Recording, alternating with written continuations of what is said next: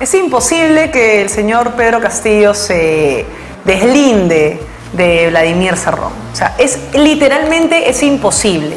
Eh, Perú Libre es el partido de, Claro. de Vladimir Cerrón. Entonces, es el fundador. Claro, O sea, muchos no eh, conocíamos el Partido Perú claro. Libre hasta esta segunda vuelta. Pero es el, es el, el fundador del partido. Entonces, es, como decir, disculpa que te corte, es como decir el César Acuña De Alianza para el Progreso. Eso es Cerrón Tal para cual, Perú Libre. tal ¿No? cual. ¿Está bien la comparación o me está, equivoco? Está perfecta. Perfecto. Y así como César Acuña eh, marca la pauta en Alianza para el Progreso, Cerrón también marca la pauta en Perú Libre. Así que eh, esa es una mentira más del señor Castillo, digo una mentira más porque para mí se la pasa mintiendo y se la ha pasado mintiendo y se la va a pasar mintiendo. Así Y eso que, es peligroso por una campaña política. Por supuesto que es Si bien peligroso. es cierto, hay populismo, por ambos candidatos hay que decir las cosas Por como supuesto. son, pero la mentira yo creo que ya es un defecto imperdonable. No, claro. Para mí, porque es un tema de valores. ¿Y por qué hablo del tema de valores? Porque el tema de la corrupción, que es el primer, principal cáncer de nuestra sociedad de los últimos 200 años de era republicana que tenemos, la única manera de combatirlo es siendo transparente y teniendo valores. Tal cual. Quien llegue al poder tiene que ser una persona transparente y con valores. Pero claro, la segunda Claro. vuelta, Bueno, Están en la ahí los vuelta candidatos. todo se vale, por así todo se vale, pero no la mentira. Pues no creo que la mentira es algo que, por lo menos, ya no menciones. No, claro. Pero no, No digas que no tiene nada que ver, que Cerrón no tiene nada que ver en, en el, en Perú Claro, Libre. Eso es, eso es engañar a la población. Exacto. Están saliendo poco a poco las mentiras y la, y la ineficiencia, las pruebas de la ineficiencia del señor Vladimir Cerrón.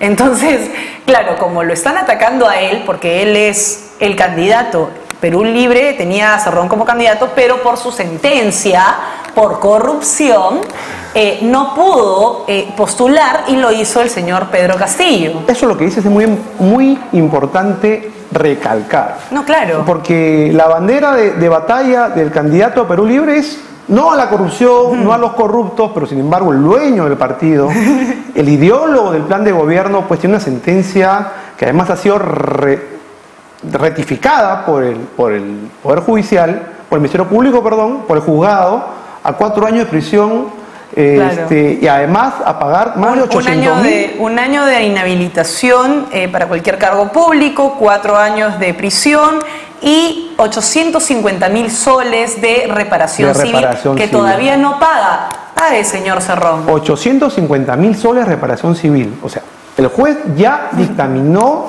pena privativa de la libertad, pago reparación civil, más pruebas. Esto es ahorita o más. Sí, claro. Esto está fresco. Y por eso el, el presidente del partido no ha podido postular a la presidencia y tiene a Y Pedro tiene Castillo como Castillo. candidato.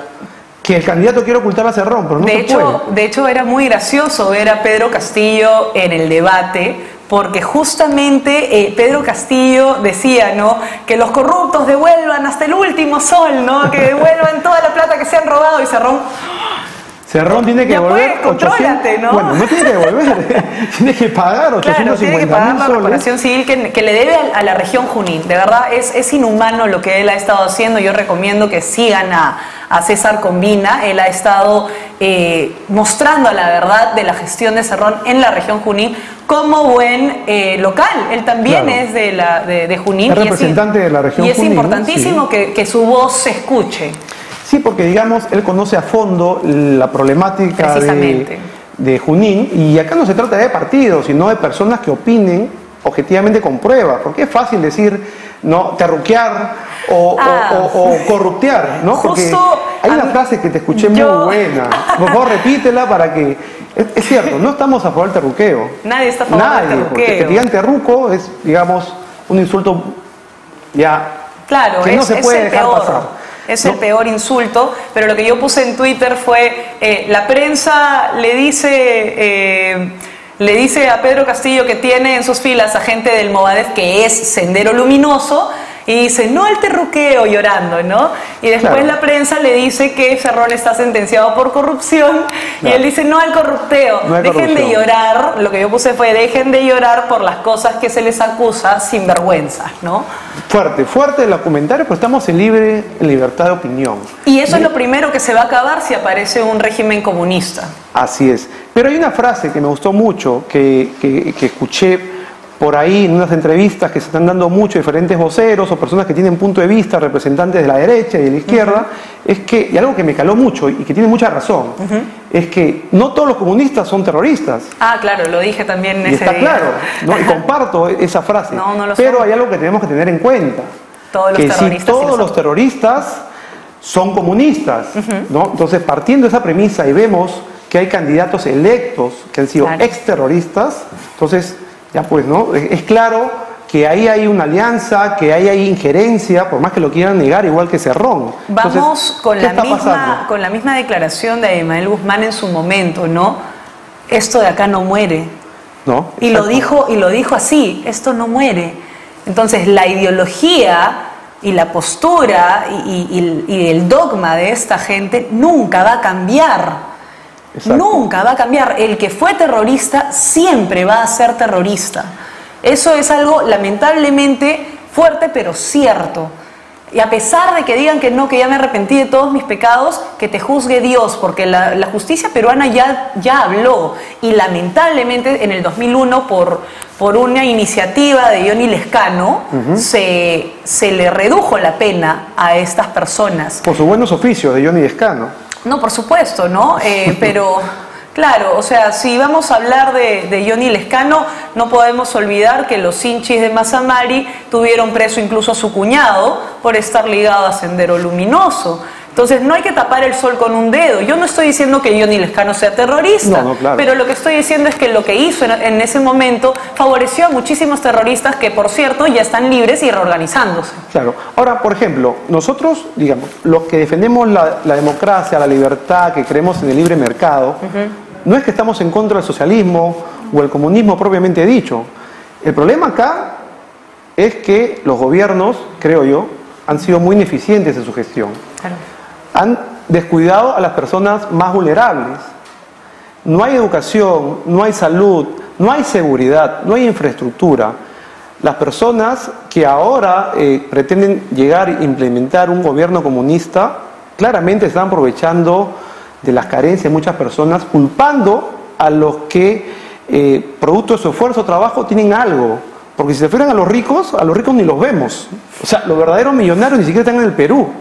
Entonces, acá no es que se trata de los ricos o los pobres contra los ricos para eliminar la pobreza, todo lo contrario.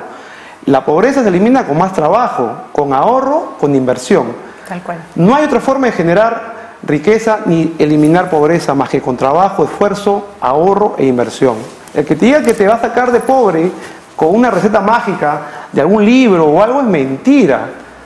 Tú tienes que trabajar en lo que tú eres bueno, no en lo que te dicen ni en lo que te va el Claro. Estado. El Estado tiene que ser regulador, pero no puede ser un Estado empresario. En ya se ha sido demostrado en Cuba, en otros lugares, El es- que no y, aquí mismo, cuando Aquí el Estado mismo. ha sido em- empresario, lo ha hecho muy mal, lo ha hecho eh, desastrosamente mal. Ahora, yo creo que es importante también entender que estamos en un, en un momento muy difícil, donde el Perú profundo ha sido eh, tocado justamente por esta pandemia. No ha llegado el Estado con progreso, no ha llegado con postas, Lógico. no ha llegado con colegios, no ha llegado con agua. No, ha llegado con miseria, con pobreza, ha llegado el Estado para decirle, ponte otra mascarilla, Sí, porque no. te puedes morir. Y cuando mueran tu gente, cuando mueran tus muertos, no los vas a poder despedir como estás acostumbrado. Entonces eso ha golpeado mucho a la gente y ha hecho que vayan a votar en voto de protesta por Pedro Castillo. Porque yo sí creo que no toda la gente que va a votar por Pedro Castillo es comunista. Definitivamente. Es un No. voto de protesta. Ahora, lo que también tenemos que tener en cuenta es que se le ha aplanado el terreno a Pedro Castillo durante estos últimos años, porque hemos tenido una izquierda progresista de Martín Vizcarra y finalmente una izquierda intervencionista de eh, Francisco Sagasti, que han tenido escándalos también, como el Vacunagate, eh, El Vacunagate, que ha sido claro. fortísimo. Y hay que tener en cuenta que esta gente, ¿por qué digo que le ha aplanado el terreno? Porque con sus cuarentenas draconianas, lo único que han logrado es que bajemos nuevamente nuestro porcentaje de PBI, Claro. ¿no? Y que vuelvan a subir los porcentajes de extrema pobreza y pobreza. Así es. Entonces, en esa desesperación y dando una medida populista, diciendo que va a comprar deudas de MIPES y tal, eh, lamentablemente destruye la economía nacional. Y siempre con los comunistas hay que decirlo, eh, el comunista golpea sobre todo a la clase media emergente. Claro. Hay que entender eso. La clase media emergente la clase baja emergente son las más afectadas por el comunismo. Cuando empiece un régimen comunista, el rico se va del país. Así es. Ya lo hemos visto antes y por eso tenemos peruanos en todo el mundo. Y hay que recordar a los que nos están viendo en la época de los 80. En 1985, Alan García en su primer gobierno lo dijo claramente, tenía influencia socialista de Francia y sumado a una crisis mundial económica de los 80, terminó en una hiperinflación, hiperinflación de más de mil por ciento, con pérdidas mayores a la guerra del Pacífico. Tal cual. Y eso, ese escenario de la crisis económica es el mismo escenario que estamos viendo hoy. Hay una crisis económica mundial, crisis sanitaria mundial, y hay una opción comunista. Además, ojo, que Alan García uno por haber sido socialista, pero era un demócrata carta cabal, y siempre Sí, lo dijo. Tiene esa formación demócrata. El comunista, como bien dice Bania, no cree mucho en la democracia, por, no, por ser suave en mencionar esto. No cree en la la democracia. violencia, exacto. No cree en la no cree en la democracia, cree en la violencia porque su concepto es que el sistema está mal. Y al estar mal el sistema, tiene que implementar otro sistema. Pero la forma, cómo piensan hacer eso es lo que está mal. Es destruir para volver a construir. Así es. Eso es lo que siempre dicen, ¿no? Es destruirlo todo, todo Así está es. mal, hay que destruirlo todo para volver a construir. Y eso obviamente es destruir también la democracia. también destruir la democracia.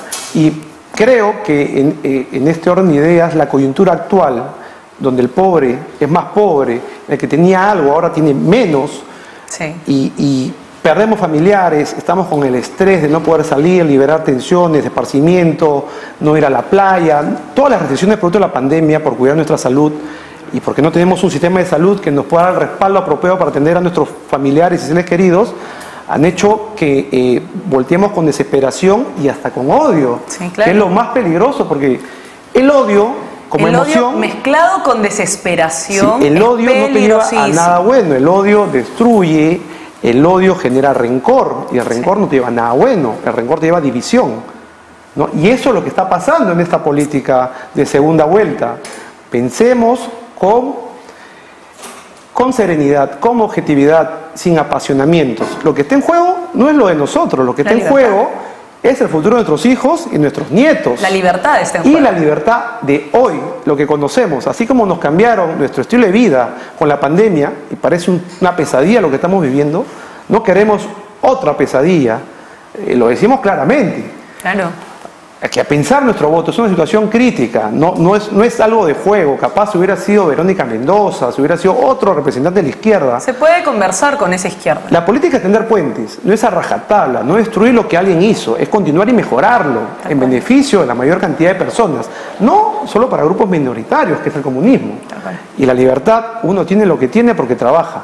Que metan a la cárcel a todos los corruptos, concuerdo con eso. Violadores de niños, perfecto. Pero que el Estado no se encargue de nuestras vidas. pues. No, el Estado, ha sido ineficiente. Sí, el Estado justamente, eh, el Pedro Castillo lo que propone es que el Estado intervenga en absolutamente todos los niveles. Y eso es peligrosísimo. Porque no es simplemente destruir a la empresa. O sea, y para empezar, la empresa no es la gran empresa. No, La empresa Claro. es la pequeña y mediana empresa, jamás me voy a cansar de decirlo. La empresa somos todos, Todos. todos, somos empresa porque tenemos la libertad de emprender. Entonces, si una persona entiende eso, va a darse cuenta que la única opción es marcarla acá por más que le duela a todo el mundo. Ella misma lo sabe, ella sabe que está en la segunda vuelta a pesar de Keiko. claro, pero no puede ser un cheque en blanco.